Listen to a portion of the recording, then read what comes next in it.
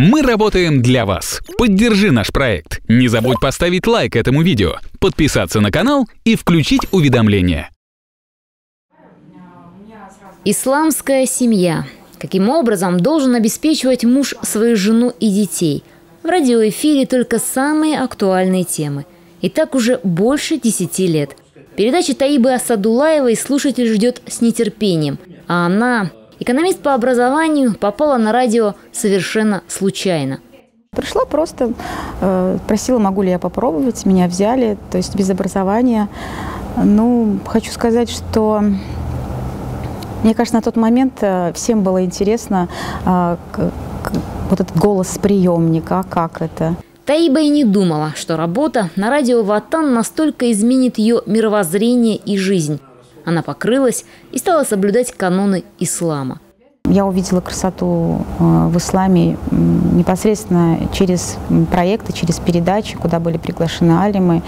И для меня определенным переворотом было то, что э, ислам – это образ жизни, это не какие-то ограничения. Если я раньше слышала, что э, в исламе это нельзя, то нельзя, э, я поняла, что ислам – это огромные возможности.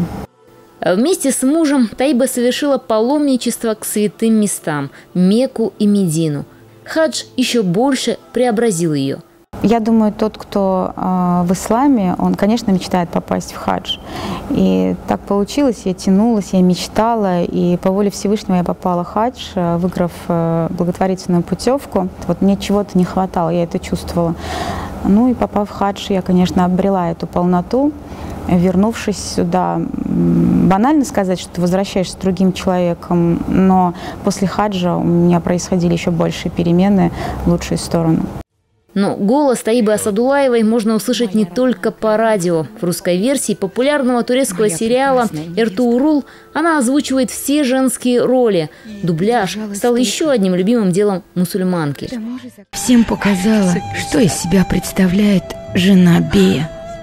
Прекрасная невестка.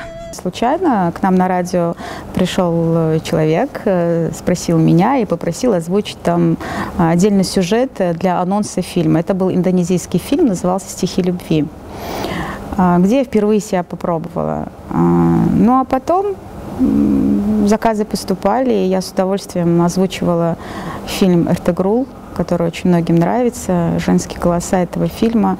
А, у меня была возможность немножечко войти в образ любимой героини. То есть такой увлекательный процесс, надо сказать, что ну, мне это нравится.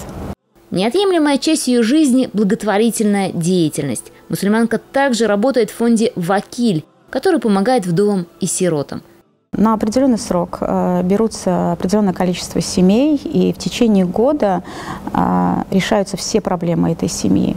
Как мы говорим внутри фонда, э, из статуса нуждающихся мы стараемся их вывести в статус самостоятельных. Подарено семьям около пяти квартир, два дома построенных.